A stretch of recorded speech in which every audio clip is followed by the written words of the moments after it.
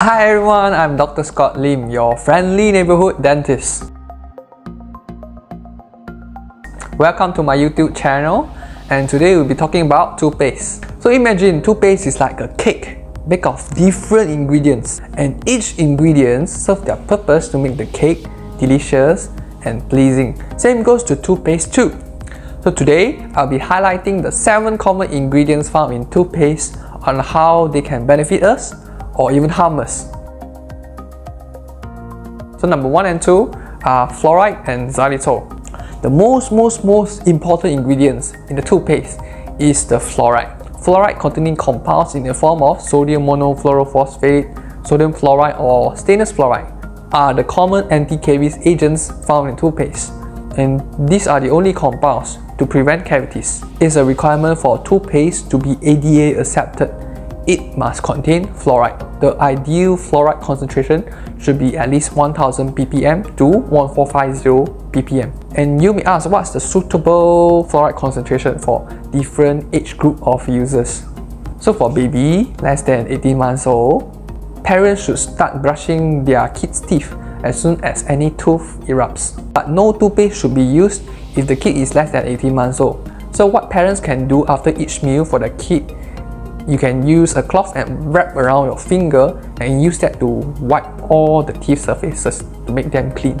And if it's kids more than 18 months old, then they can start to use toothpaste. Parents can start giving them a smear of kid toothpaste or even xylitol toothpaste and help to brush for them because kids less than 6 years old they are not able to brush properly for their teeth yet.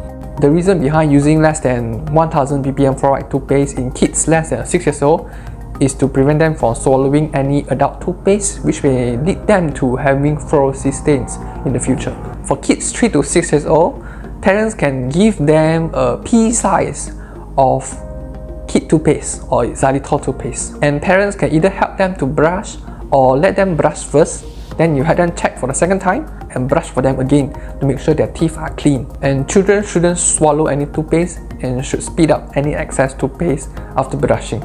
And if any children more than 6 years old, then they can use a pea size of adult toothpaste when brushing. And if you have a lot of decay or are more prone to even more decays in the future, then your dentist may advise you to use a 5000 ppm fluoride toothpaste. And this toothpaste, for info, is not available over the counter and you can only purchase it from your dentist. And how safe is fluoride? Fluoride is proven safe and effective in prevention and control of the decay, especially when they are more than 1000 ppm. However, the products containing fluoride should be stored out of reach of children because excessive fluoride intake may lead to indigestion and fluorosis stains in the developing adult teeth, especially in kids less than 6 years old. Development of the fluorosis stains depend on the duration, amount, and timing of the excessive fluoride intake. However, the appearance of the teeth due to fluorosis stains can be greatly improved by a variety of treatments from aesthetic dentistry. And number three is the desensitizing agent. Dentin hypersensitivity, or we call it sensitive teeth, occurs in around 11.5% of the patients, which can be evaluated by touch, temperature, and air current. A 2020 study done by Dr. Martin and his team comparing different ingredients inside the toothpaste formulation to reduce hypersensitivity. And his team found out that if your teeth are sensitive to touch, air, and cold, then you may look out for the toothpaste contain CSP. We call it calcium sodium phosphosilicate.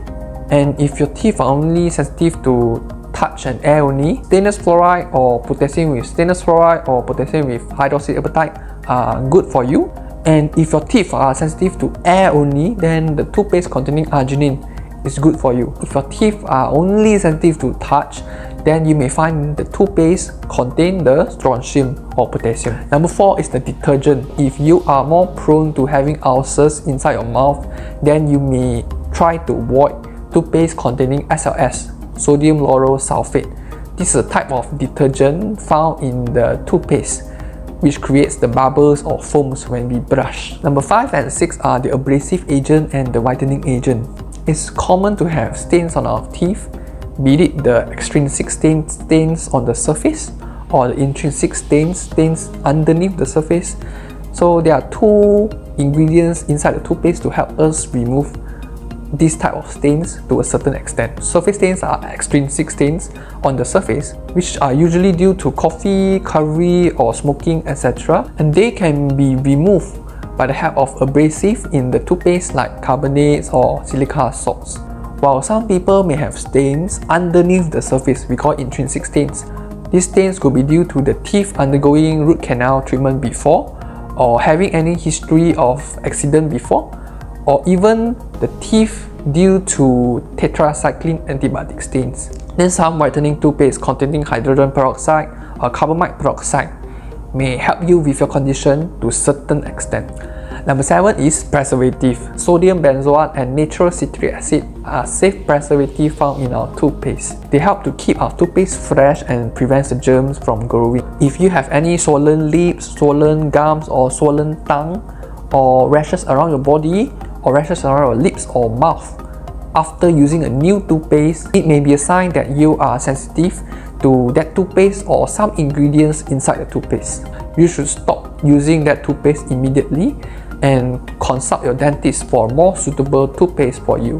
On a side note, you might want to look up for any BHT, formaldehyde, paraben, propylene glycol or triclosan inside the toothpaste because these ingredients are found to be harmful to our health if used for long term. Also, it's not advisable to use fluoride-free toothpaste because there will be lesser protection to our teeth and no remineralization to our teeth leading to more decays in the future. Lastly, you may want to look out for the ADA seal on the toothpaste because the toothpaste with ADA seal have been proven safe and effective for everyone. That's all for today. Hope the information above helped you in some way. If you like this video, please help to subscribe, like and share this with your family and friends. Please feel free to drop by any questions in the comment box below. Thank you and see you in my next episode.